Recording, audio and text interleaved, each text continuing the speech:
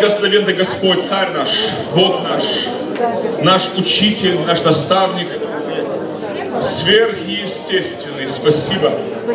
Спасибо за то, что ты нас, людей земных, людей земли этой, делаешь людьми неба,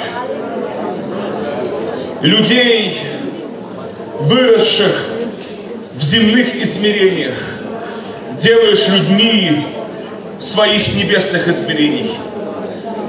Спасибо, Господь, за милость и благость, за благодать Твою, за спасение, за жизнь, за Духа Святого, дорогого Твоего, бесценного, прекрасного.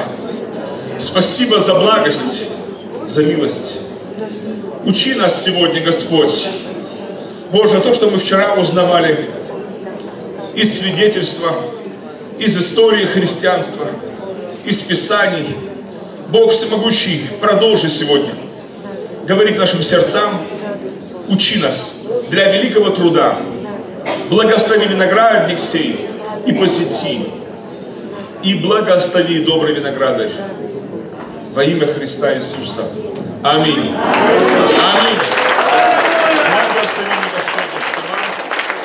Пожалуйста, присаживайтесь, друзья. Доброе утро, братья и сестры, дамы и господа, во Христе Иисусе.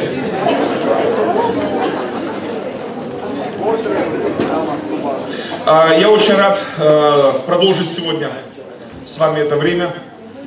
Э, Это благословение, для меня огромное благословение послужить в Академии здесь с такими горящими, огненными, верующими людьми. Слава Богу!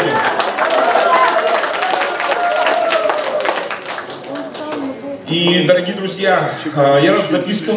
Э, Если есть еще какие-то записки, передавайте. Я уже на основании э, ваших вопросов продолжу. Знаете ли, потому что там были разные вопросы и очень интересные есть. Есть разные. Не провокационно, а такие как бы острые вопросы. Острые. Э, И, дорогие э, друзья, вчера я говорил о некоторых заблуждениях э, о том, как историческое христианство попадало в некоторые проблемы. Знаете, сегодня хочу начать с одного места Писания. Из Библии, из Евангелия от Иоанна, 8 глава, 32 стих. Хочу сегодня это эпиграфом взять, занятием. Иоанна 8.32, где говорится, «И познайте истину, и истина сделает вас свободными». Истина освобождает. Истина ничего другого не делает, а только лишь освобождает нас. И, дорогие друзья, э, действительно, через познание истины приходит свобода. Э, Иисус в контексте этой главы, да и Евангелия всего, говорит это к верующим. Э, Он не говорил это не для неверующих, Он говорил это верующим, к тем, кто уверовал в Него и шел за Ним, и даже был Его учеником. Знаете, эти слова Иисуса, к сожалению, к великому сожалению, большая часть учеников, большинство, если не сказать, что почти все, посчитали неким оскорблением, посчитали неким, таким, знаете ли, унижением. Печально, но многие очень люди и сейчас совершают такие же ошибки. Многие верующие сегодня обижаются, ну, по сути, на Иисуса, когда им говорят, нужно освобождение, нужно познание истины, необходимо освободиться от того, от всего. Многим это кажется чуть не оскорблением, особенно многим служителям, многим тем, кто себя действительно видит апостолами, служителями Божьими. К сожалению, это, ну, как бы, всегда фактически совершается на этой земле на протяжении двух тысячелетий. И в те времена было так же. Дамы и господа, нам не надо обижаться на Иисуса, нам надо смиряться. Бог гордо противится, а смиренным дает благодать. Если Он говорит верующим, что нужно освобождаться, надо освобождаться. Знаете ли, если Он говорит, что познаете истину, надо познавать истину. Если Он говорит, что истина сделает нас свободными, так и будет. Истина сделает нас свободными. И знаете ли, свобода, она никогда, согласно всей Библии, абсолютно всей Библии, от бытия до откровения, а, свобода никогда на блюдечке с каемочкой э, вот так вот for free, халява, никогда э, не бывает. А, знаете ли, дамы и господа, братья и сестры, всегда, согласно Божьему Слову, за свободу надо драться. За свободу надо очень много платить. И я думаю, ну, самым таким хорошим примером, хорошей иллюстрацией является Пасха. Песах. Пасха. Действительно, а, потому что для кого-то, может, Пасха это просто красный день календаря, это просто э, еврейские традиции или э, христианские, оккультные, какие-то еще традиции, я не знаю, но на самом-то деле праздник Пасхи это праздник свободы. И главная тема как раз именно свобода. Это самое драгоценное слово. Знаете ли, недаром в любой культуре человеческой наказание, наказанием является лишение свободы. И хотя есть, конечно, люди, которые уже ну, считают э, тюрьма дом родной, век свободы не видать. Я, я общался с такими людьми, и общаюсь, бывает встречаюсь, э, когда э, служу в местах не столь отдаленных. Э, свыше 100, одно время почитал я, свыше 100 колоний и тюрем посетил с проповедью Слова Божьего. Э, в том числе общался я с людьми, которые всю свою жизнь фактически провели за решеткой. То есть они очень мало времени находились э, на свободе почти вся жизнь я разговаривал со стариками, со стариками, которые всю свою жизнь, порядка 60 лет провели за решеткой. 50-60 лет. Ну, это в общем сроке, там как бы... Э, знаете ли, э, страшная история. Э, один раз со мной э, беседовал один человек, он сидел за убийство, двойное там, по-моему, убийство было, последний срок, и он всю свою жизнь тоже провел э, в этих местах. И он сказал, что вот скоро уже, ну как бы, он должен был выйти уже. Э, но, но э, он боится этой свободы. У него здесь дом родной. Здесь у него, как бы, ну, коллектив, его уважают, авторитет какой-то. Вот эти люди, что охраняют их, как бы, они тоже его, как бы, знают все. Вот и, а там на воле никого нет у него. Ни семьи, ни, ни кола, ни двора. И знаете, хотя есть так, и такие люди, но все равно, если копнуть глубже, когда беседуем глубже, все равно человек понимает, что ему нужна свобода. Это самое драгоценное слово. Знаете, друзья, э, для верующих людей, наверное, это слово должно быть особенно драгоценным. Если неверующие люди это ценят, этим дорожат, то верующие должны этим дорожить еще более. Иисус пришел нас освободить. Для меня пасхальное приветствие «Христос воскрес» – это знак того, что Он пришел разрушить всякую темницу, пришел вывести измученных на свободу, пришел на самом деле совершить это. И то, что многие люди сегодня в оковах и в, тем, в темницах греха, проклятия, беззакония, в гробах, это не его вина. А, он заплатил сполна за свободу всего человечества. Он заплатил сполна за каждого из нас. Его крови было пролито достаточно, чтобы искупить весь род человеческий на все времена, на все века.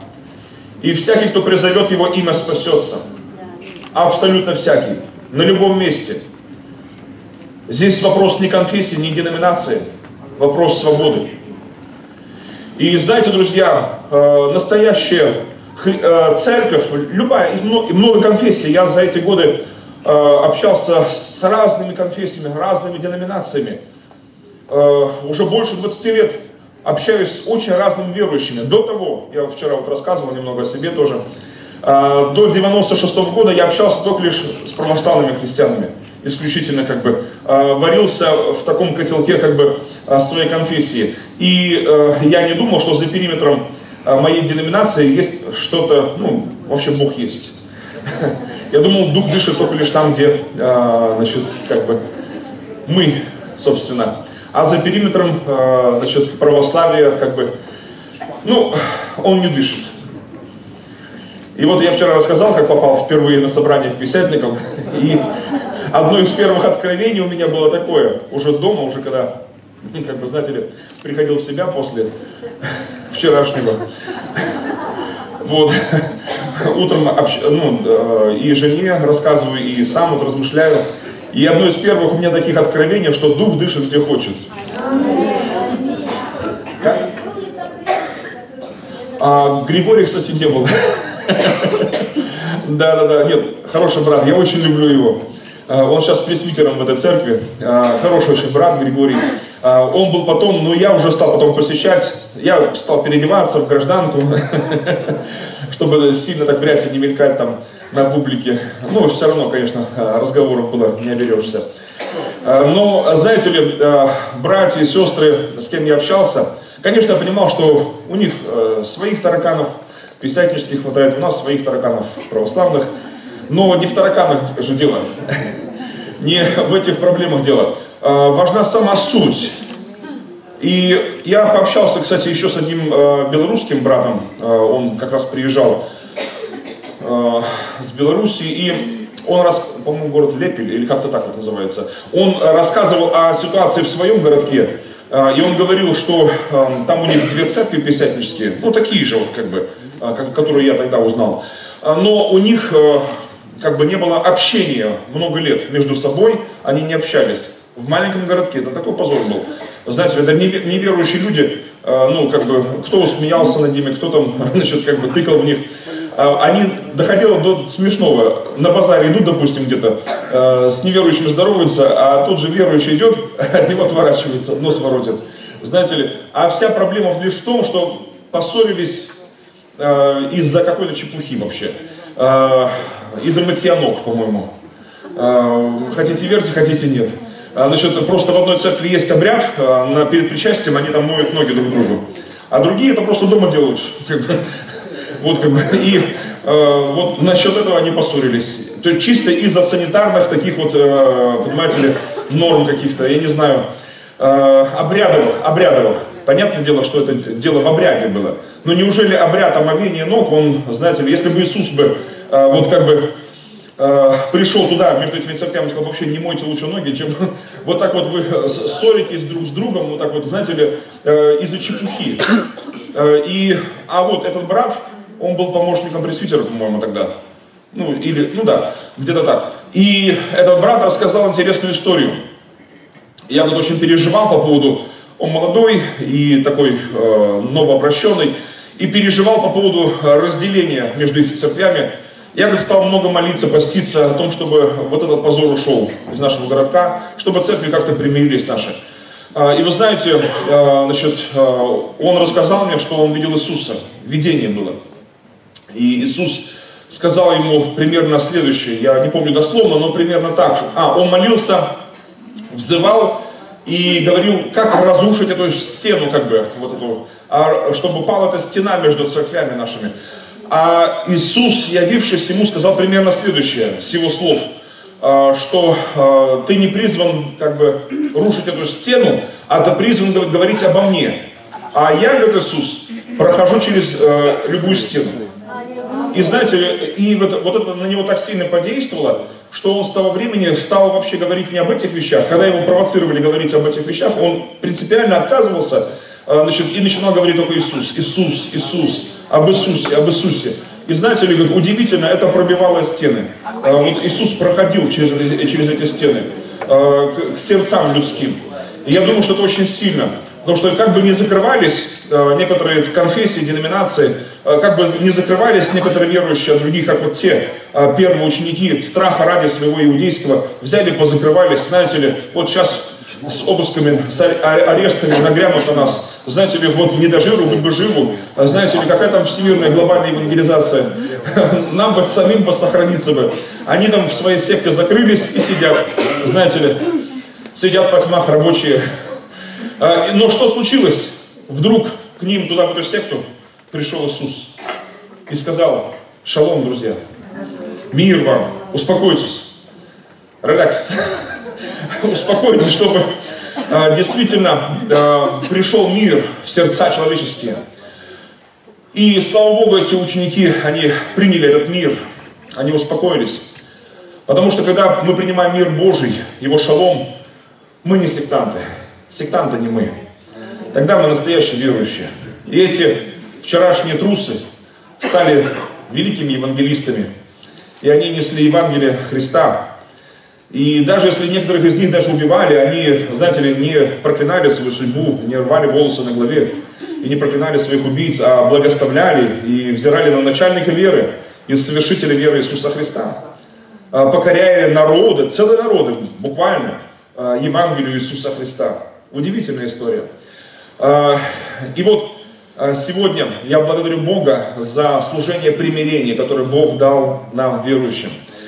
А, дамы и господа, братья и сестры, очень важно, чтобы уверовавшие люди не стеснялись освобождения, не стеснялись вот самой необходимости освобождения. Знаете, я, я слышу многие, разговариваю с разными же верующими, разными пастырями, разными служителями, и очень часто нарекания, одно из основных нареканий в адрес вот как раз возрождения, вот, они все, они помешаны на освобождениях, гоняют бесов, надо, не надо, как бы, значит, там направо, налево, значит, э, хавайся. Э, но, знаете, э, истина в том, что э, на самом-то деле это правда, э, что нужно освобождение. А, человек без бесов хороший человек. Я в этом много раз убеждался.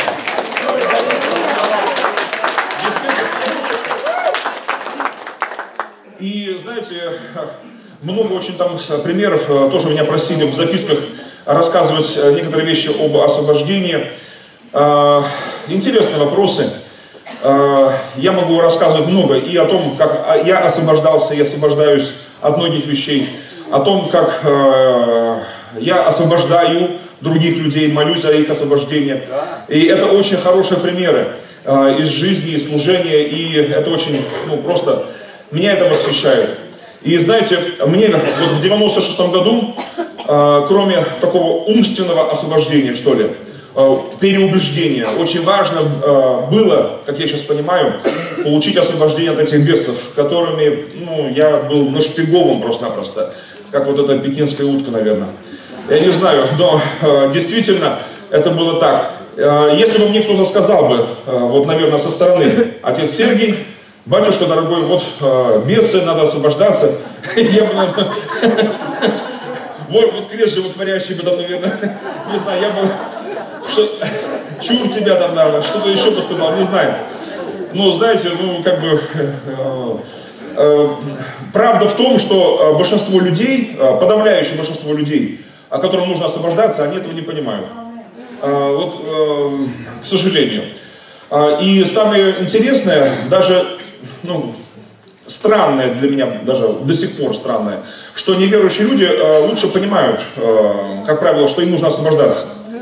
Э, Вот религия, наверное, делает такую работу грязную, э, гордыню питает какую-то такую особенную, э, которая человека делает не простым, знаете ли, а вот каким-то сложным. И простые люди просто освобождаются. Сложные люди очень сложно освобождаются. На практике, вот в моем служении, когда я изгоняю бесов, э, то, как правило, неверующие люди быстрее принимают это и с легкостью просто, ну, соглашаются, освобождаются, принимают Христа, уверовали, все. Но э, самые проблематичные случаи, вот в моей практике, это те верующие, которые уже много лет верующие, десятилетия порой верующие, 20, 30 лет, 40 лет верующие. Э, И их освобождение, я скажу так, освобождение некоторых из них даже до сих пор еще под вопросом. То есть очень сложно. Там, знаете, такие как бы дебри репейника религиозного, что так держится, что э, и не знаешь почему порой. Но некоторые за эти годы, некоторые ответы я получил. Э, некоторые ответы получил, во-первых, из Библии, из Слова Божьего, как рема, как откровение. Во-вторых, из практики, э, молитвенной практики от Бога. Э, некоторые откровения от бесов, будем так говорить, даже э, их признание. Э, люди дают место дьяволу.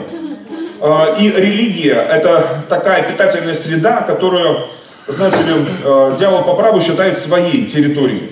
И это не важно, какая религия, протестантская или православная или католическая, здесь не то важно.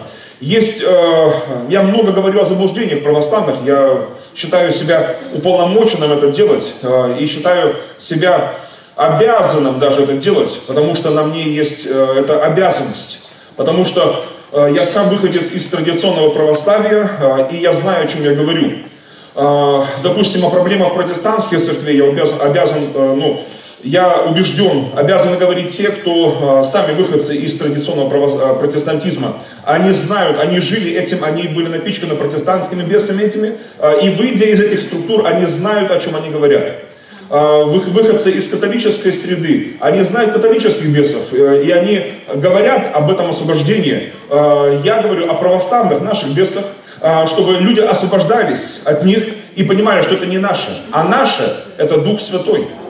На самом деле истина освобождает.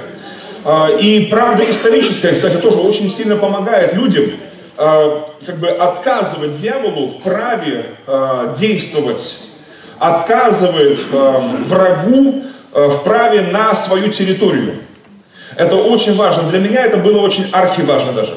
В 96-м я вчера кое-что рассказал. Я рассказал о том, как э, прочитал Эрна Штейгена эти простые проповеди, очень простые, они вот как раз и подкупают своей простотой. Знаете ли, там Христос, там как бы Иисус, э, центр, и Евангелие не просто как открытие какой-то философии конфессиональной, а именно э, Евангелие как есть. И это подкупало очень сильно. Так вот, дамы и господа, э, эти проповеди сыграли хорошую работу в моей судьбе. Я очень Богу благодарен за Эрла. И хотя мы в земной жизни не виделись, и не знаю, увидимся ли, он уже старец и уже никуда не летает, живет там в Южной Африке, я в Африке Южной ни разу не бывал, но если побываю, хочу его еще в селе, конечно, увидеть и пожать ему руку. Но если не увижу, то я хочу его на небесах тоже поприветствовать и очень сильно поблагодарить за его работу, а, значит, которую он сделал. В моей судьбе, по крайней мере, я в этом убежден глубоко, что в моей судьбе это было а, ну, кульминационно вообще, а, очень важным событием. Так вот, и что сделали проповеди Эрла в моей судьбе? А, Они просто направили меня назад к Библии. как помните фильмы, да, «Назад в будущее». А это назад в будущее, то есть назад в Библии. А, Это очень важно. Вот это есть реформация. Знаете ли, э, после прочтения проповеди этих, переживаний этих, в тот же день я нашел свою Библию, которую возил с собой не, не на славянском языке. не- Я как священник, конечно же, как и тысячи моих коллег, читал э, Библию, как и положено, на всех служениях. Э, каждый день что-то прочитывал, безусловно, конечно же, сто процентов. Там, «О, время луно, из Иисус в Иерусалим, есть войсы, мир, кофе купель», и прочее, прочее, прочее. Я это читал, я читал, но что-то касалось, безусловно, конечно же, касалось. Я не говорю, что прям было все прям сухо так вот, знаете но, но это было, э, ну, с гулькин нос, это было совершенно э, капелюшки, которые, ну, не, не напитывают душу.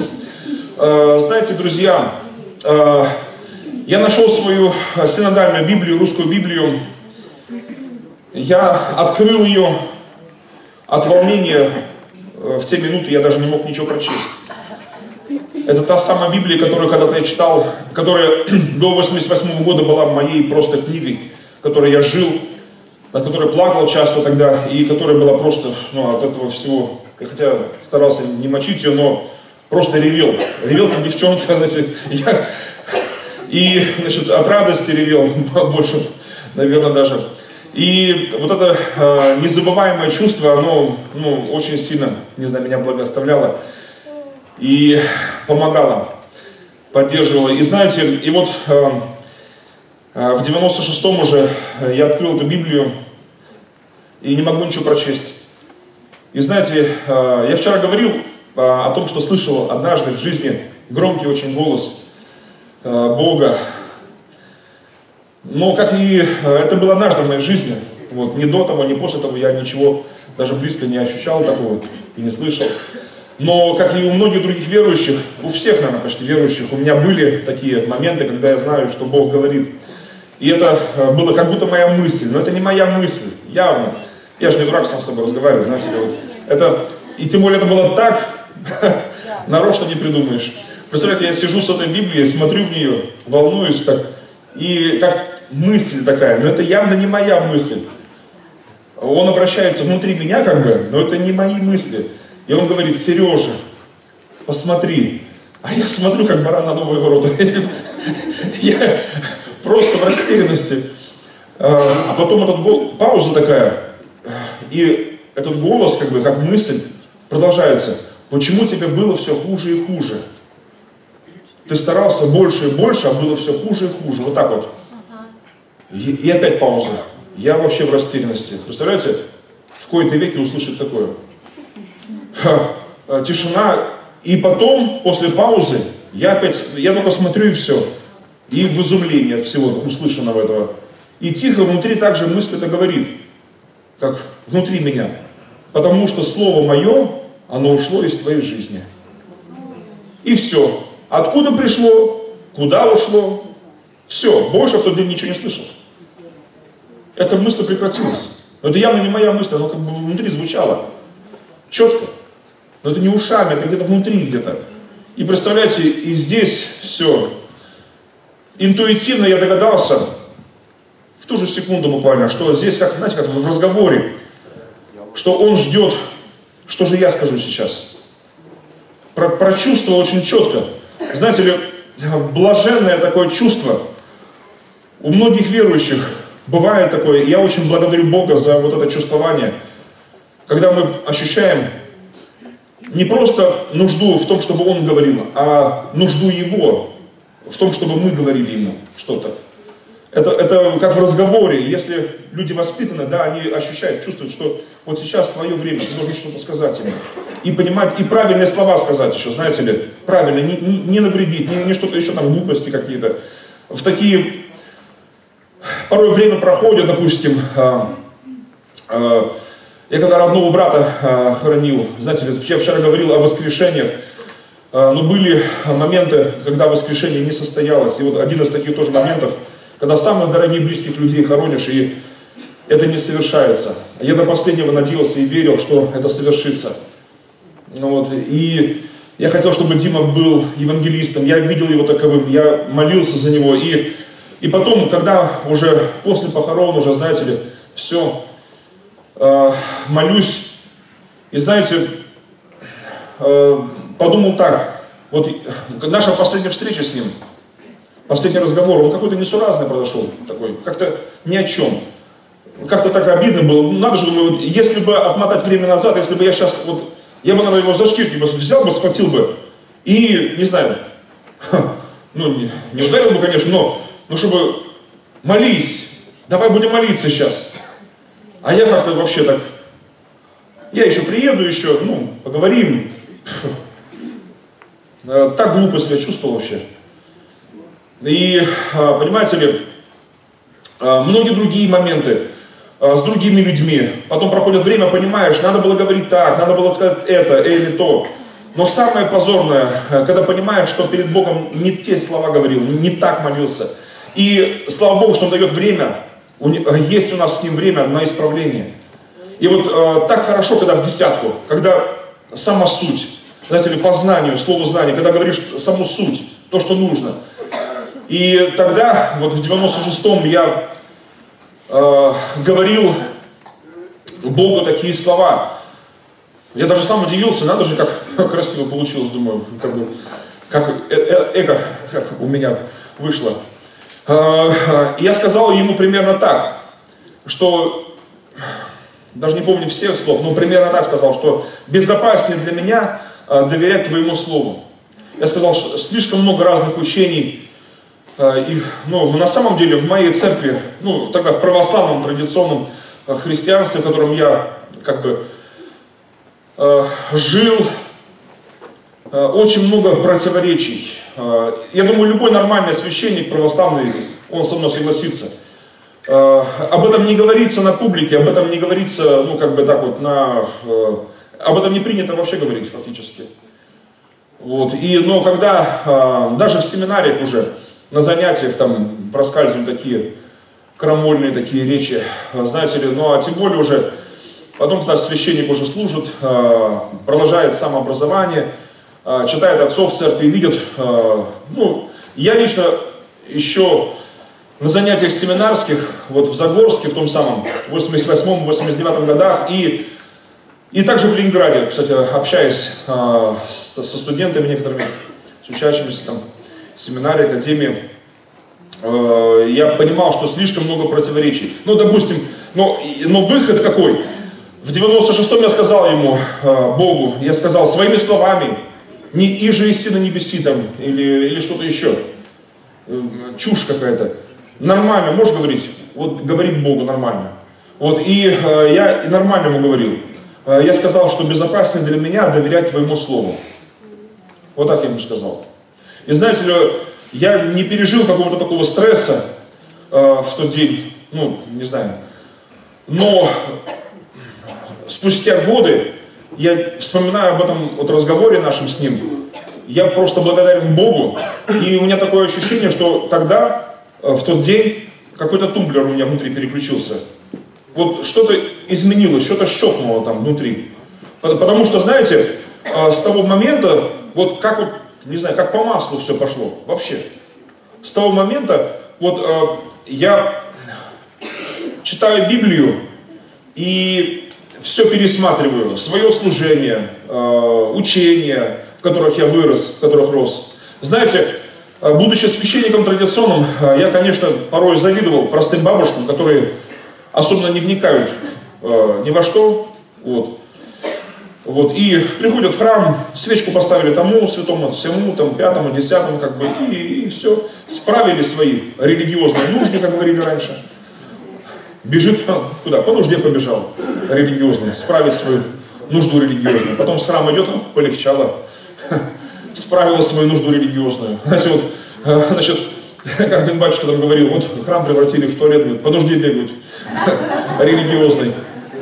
Но на самом деле, э, я думаю, не я один, но я лично даже завидовал простым бабушкам, которые просто приходили в храм, особенно не вникали в православие, там, и оно им как бы и даром не нужно там а, значит, просто им чисто практически, там, чтобы там поросята не болели, чтобы там как бы Вот, и вот они просто молились, свечки ставили и все, особенно не вникали в учение отцов в церкви. Но я тоже вникал, работа такая, знаете, и мне интересно было самому. А эти отцы учили, кто вправо, кто влево, кто в огород, кто э, как лебедь, а так и щука. Знаете ли, э, э, патристика это такая наука, что это, скажу, как вот говорили в семинаре, без 100 грамм не разберешься, и, и 100 грамм не поможет. А, то есть на трезвую голову вообще бесполезно это все учить. А потому что э, отцы церкви учили диаметрально противоположным вещам, абсолютно противоположным вещам. Знаете ли, ну, самый такой пример для меня, как бы такой вопиющий был, это вот э, современники э, Иосиф Волоколамский, и вчера я упоминал э, в 15 веке это э, Нил Сорский. Иосиф Волоколамский, Нил Сорский. Два отца церкви жили в одно время. Э, современники, э, но учили диаметрально противоположным вещам, и даже э, доходило до того, что отказывали друг другу даже вправе называться христианами. Вот, но самое интересное, оба э, святые э, православной церкви обоим свечки ставят и тому и другому. Но на самом деле это два разных христианства, это даже две разных религии вообще, по сути, то, чему они учили. Ну, как бы, рассказать или... Ну, может пригодится, я не знаю. Ну, там таких примеров очень много, просто это самое для меня такой был тогда, как бы, актуальный пример. Допустим, э, Иосиф Волоколамский, значит, э, он, ну, да, стяжатели, не стяжатели, как бы, как их называли там, иосифляне и не, и не стяжатели. Вот, Иосиф Волоколамский, а здесь Нил Сорский. А, вот можно так вот, мы, мы обычно рисовали вот такие как бы графики, такие схемки. Иосиф Волоколамский, Нил Сорский. Нил звали, да. Вот, допустим, там ставили первое, второе, там третье. Вот там их много пунктов, и по всем пунктам они учили вообще прямо противоположному. Допустим, о Библии, э, чему учили? Иосиф Волоколамский считал, что Библия это не для средних умов.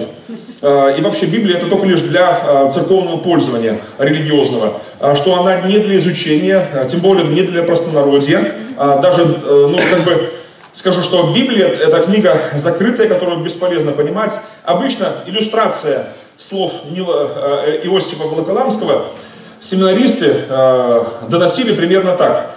Это было как раз в начале 88 года в Загорске э, сами семинаристы, будущие священники православные, говорили так, кто Библию прочтет полностью от и до, с ума сойдет.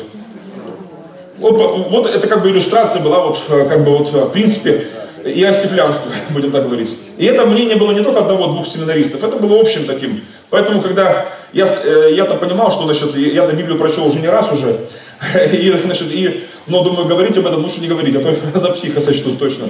Поэтому я так маскировался, э, значит, таился. Но, э, знаете, действительно, Иосиф так считал, ну, явно был человек невозрожденный, я так понимаю. Потому что если бы один из признаков возрождения духовного, это как раз любовь к Слову Божьему. Как бы, ну, это нормально, естественно, знаете ли. Э, ну, как бы, как лакмусовая бумажечка проверять, что, что там в этих колбочках, да щелочь, кислота. Вот как, что проверить? Как проверить вот, э, ну, нутро человеческое? Все же вроде как верующие, все вроде, и бесы тоже верующие по-своему. То есть и трепещущие даже. То есть как бы все. Ну как проверить нутро человеческое, да, вот заговори об Иисусе, заговори о Слове Божьем.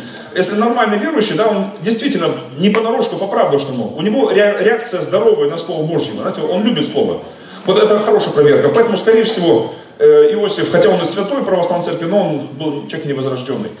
Нил Сорский учил прямо противоположному. То есть это со знаком минус, здесь со знаком плюс. Нил Сорский учил, что а, Библия это книга для всех. И для простых крестьян, и для горожан, и для селян, и для знати, и для черни. А, для всех, и не только для служебного пользования, но для верующих. А, и за это он много пострадал все время, значит, но он этому учил. В храме, где я служил, в одном из храмов, там э, Нил Сорский и Иосиф Волоколамский были вот вместе, знаете ли, друг против друга. И там свечка, и там свечка. Люди особенно не вникают, но э, на самом деле ты либо одному должен поверить, либо другому, что они говорят вообще. Разные совершенно. там, о чем они? А, э, отношение э, к, к власти, государственной власти. А, Значит, э, Иосиф Волоколамский, он э, был ярым сторонником цезарепапизма, то есть подчиненности церкви государства. Ну, это, в общем-то, и сыграло такую э, огромную роль в том, что э, его учение стало как бы э, генеральным учением э, Русской Православной Церкви вот, со временем. Так вот, значит, Нил Сорский, он держался, ну, другого совершенно понимания. Э, он говорил всегда, что кесарю кесарево, да, ну, значит, ну, Цезарю, значит, Цезарю, получается, да, а Богу Божье. То есть он считал, что э, надо, цер- церковь должна, должна иметь в этом отношении, ну, такое, отношение нейтральное. То есть, с одной стороны, да, э, мы к Цезарю, но с другой стороны, мы относимся к Божьему Царству. То есть, вот у него такое было отношение. Э, К рабству Иосиф Волоколамский был за рабовладельчество, за, по, по сути, то, чтобы монастыри жили за счет крестьянских хозяйств, значит, э, используя э, рабский труд тысяч крепостных. Э, Ио- Нил Сорский был противником и работорговли, и рабского труда, и крестьянские хозяйства, которые были значит, в подчинении как-то вот их, этих монастырей, они с ними строили партнерские отношения, то есть не, не, ну, будем так говорить, не наживались на них, вот, то есть совершенно другие отношения, абсолютно. Иосиф Волоколамский, он был за смертной казнь еретиков. Он считал, что даже за пытки и казни, а в своих книгах он об этом очень подробно рассказывает. Э, Его книга «Просветитель» с последними главами как раз, где э, рас- раскрывается э, идеология инквизиции православной. И он рассказывает, что как можно пытаясь там, ломать ребра, пальцы, там, значит, там, и снимать кожу живого человека, заставляя его отрекаться от ересей. Но даже когда человек отречется, его нужно убивать. Э, Он убежден был э, ради того, чтобы другим было неповадно, чтобы другие были, то есть эти муки были для спасения его души, а казнь для спасения душ э, других людей, окружающих. Вот Нил Сорский был категорическим противником не только пыток, но и смертной казни еретиков. Он считал, что наши методы – это убеждение, что мы должны действовать методом убеждения. И даже многих еретиков, как бы беглых всяких и прочих, евреев, христиан, он прятал в своих обителях, э, не соглашаясь с ними по э, идеологическим причинам, но э, пряча их от смерти, от смерти верной. Потому что как бы, если бы э, как бы их выдали, то их э, пытали бы и казнили. Вот э, э, Иосиф Волоколамский э, обустраивал монастыри обязательно. В каждом монастыре карцеры, в каждом монастыре пыточные камеры, в каждом монастыре э, дыбы, э, значит, э, душегубки, эти знаменитые, дымом уморенные, э, когда э, значит, забивали людей туда, в эти, в эти э, э, камеры, внизу разжигали э, не- небольшой огонь, забрасывали э, листвой, чем-то еще, и этим дымом коптили э, живых людей до смерти. Как бы. Вот, то есть, как бы, и много других. В православии инквизиция была очень жесткая, очень жесткая, э, и э, имеющая уже такой, ну, как бы, многовековой опыт.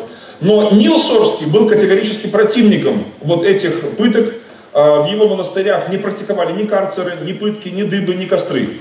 А, То есть он был противником. Но, к сожалению, московский князь, тогдашний Иван III, там еще кто-то, а, значит, они были сторонниками именно иосифлянства.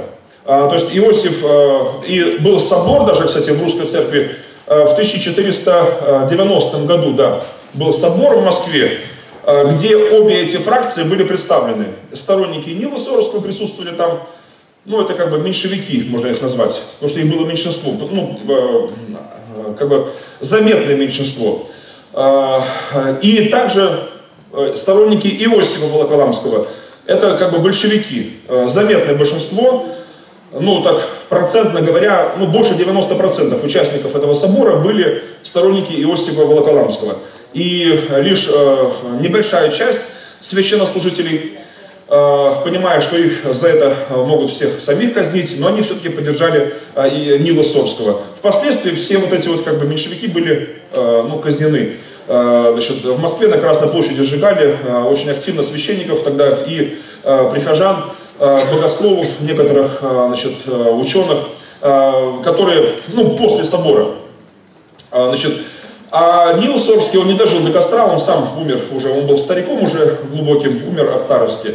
Вот, и, ну, как ни странно, со временем прошли э, столетия, э, его канонизировали как святого, э, значит, и, в общем-то, теперь можно молиться и тому, и тому. Теперь и учение того, и учение того, оно является священным преданием. И, и в принципе, знаете ли, ну, несовместимые продукты. Знаете ли, вот почему такой религиозный как бы понос, простите, э, совершается э, в православии. Потому что не, совершенно несовместимые вещи, абс, абсолютно, не знаю. Это никакой организм не выдержит, никакая, никакая, никакая конфессия не в состоянии выдержать подобных продуктов вместе. Так вот, дамы и господа, и э, на соборе в том, в том самом присутствовали, конечно же, князья, присутствовали там, ну, тогдашние олигархи, будем так говорить, да, как бы богатые люди, которые имели денежки-то. Но, э, хотя и князь, его семья московского князя тогдашнего, э, имели очень сильные свидетельства исцеления а, потому что когда болела его, кто там, племянница, кто-то еще болел, обращались за молитвой не к Иосифу, а к Нилу шли. А, и Бог исцелял через вот как раз Нила Сорского-то. Вот, а к Иосифу только лишь можно еретиков было на казнь отправить, на дыбы, значит, на, на костры, и все. Но когда зашла речь о том, чтобы на соборе был вопрос поставлен ребром, а, значит, чье же мнение правильное? то князь встал все-таки на сторону Иосифа Волоколамского.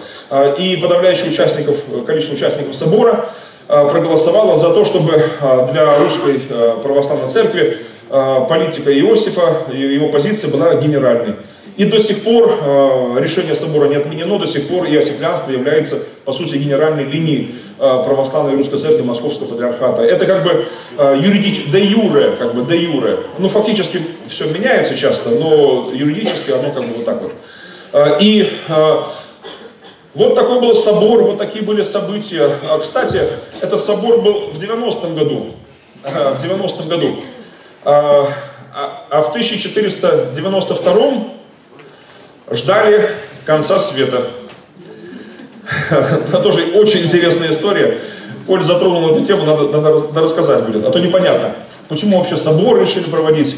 А, перед тем а, пал Константинополь, пала Византия. А, в общем-то, время такое было непростое. На Руси такие были, как бы, эсхатологические ожидания, будем так говорить, конца света. Потому что самого крещения э, Руси, еще Киевской Руси, помните, да? Когда было крещение? 988 год, да, совершенно верно. Э, с 988 года, начиная вот до того самого 92 э, 1492 было ожидание вот этого конца света, потому что на Русь, киевскую тогда, когда пришло христианство официальное, то оно пришло э, с Византии, помните, да? Э, с Греции. Э, и Византии на Востоке э, в то время считали, что э, светопредставление, конец света, как мы говорим сейчас, э, состоится э, в лето 1492. Э, во всех книгах богослужебных это было написано, как бы, и ну, люди в это верили князь Владимир, все остальные в это верили, потому что им сказали, что так будет конец света. Но в 988 это казалось очень далекой датой. То есть это очень далеко еще, как бы и на наш век хватит. Но время-то шло, время-то приближалось неумолимо. И поэтому как бы вот ожидания были все более и более напряженные. И когда уже наступил 15 век, то, конечно, ожидания были очень серьезные. И совпало, представляете, совпало. Пал Константинополь, а, значит, стал Истамбулом, а, значит, а, самый главный храм православия стал мечетью, как бы, и на Руси стали говорить, все, точно, конец света, точно все как бы совпадает. Люди перестали жениться, многие выходить замуж, монастыри пережили бум невероятный, люди хотели последние годы своей жизни, вообще цивилизации прожить в обители, там, в молитвах, постах, летописцы пишут, и разбойные люди умножились, то есть все по-разному. Кто-то в молитвах, постах, кто-то там решили под конец, знаете ли, кровушку пустить кому-то там, значит, там, вот прожить, значит, так вот, да, а, на всю катушку. Одним словом, ожидания были очень серьезные.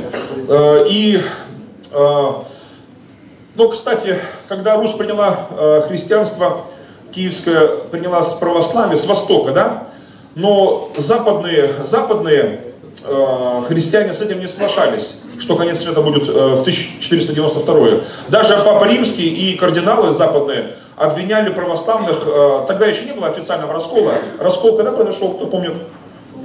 Говорили вам об этом, нет? Э, 1054 э, раскол произошел. То есть э, это крещение было до официального раскола э, между Западом и Востоком. А, Но, хотя раскола официально еще не было, но как бы уже назревали все эти, э, как бы конфликт назревал. Э, Уже э, были взаимные обвинения, уже были, э, ну фактически раскол был уже, как бы, да, но юридически его еще не было. Э, Формально его еще не было. А, Не было такого как бы, ну команды сверху уже, будем так говорить, политиков. И вот, значит, э, но были некоторые несогласия. И одно из несогласий это конец света. Э, Нет, западные говорили, что он будет, но мы не знаем дня и часа. Э, И нельзя ставить дату конца света. Но православные обычно говорили так, а мы не знаем дня и часа. Мы лишь знаем год конца света. А день и час мы не знаем. То есть это на протяжении всего года э, возможно был конец света. Хотя это было лукавство, потому что э, официально э, есть источники, утверждающие, что зна- знали даже день, как бы просто молчали. Говорили о празднике Благовещения. А Другие говорили о другом празднике, но ждали на празднике, одним словом. Так вот, но до самого конца 92 года подъели все запасы. Представьте, массово на Руси не осталось даже семян, потому что никто даже и не подумал, что может наступить 93 год. А не сажали ничего, нет. Некоторые сажали, э, но их э, осуждало общество, их считали еретиками, э, жидами называли их там, или жидовствующими, наслушавшимся еврейской пропаганды. Потому что у евреев другой календарь, вот вы, значит, не верите, вы, значит, жиды, армяне, там как-то еще об- обзывали, значит, там последними словами, какие были приняты на Руси тогда, в то время. И вот, значит, и, значит, но 93 год э, прошел, наступил 94 год, э, 93 год наступил, А, значит, и представьте, неудавшийся конец света на кого списали? На евреев. Это все они. Да. Даже и Господь за них не пришел. Представляете? Короче, все, виноваты евреи кругом. Вот, значит, и э, начались инквизи... ну, в общем-то, были бунты голодные, потому что реально, э, значит, э, цены на продукты поднялись невероятные. За кусок хлеба могли убить. Голод был, страшный голод. Ели все подряд и всех подряд. Вот, значит, хлебушек был только лишь у евреев или у тех не евреев, кто все-таки их считали еретиками, жидовствующими там э, кем-то еще, но, но которые все-таки ходили и сеяли, э, значит, в- ну, несмотря на укоры всех соседей на своем огороде, на своем поле. Вот как бы, значит, но э, вот эта вот горстка э, людей, общества, они имели э, продукты питания.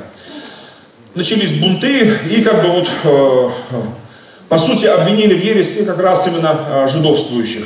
Начались казни. А, Значит, и, кстати, а, в 1492 году все-таки произошел некий конец света. Ну, Как бы, но не конец света, а открытие нового света. Помните, да? Христофор Колумб как раз, как ни странно, совпало. Представляете?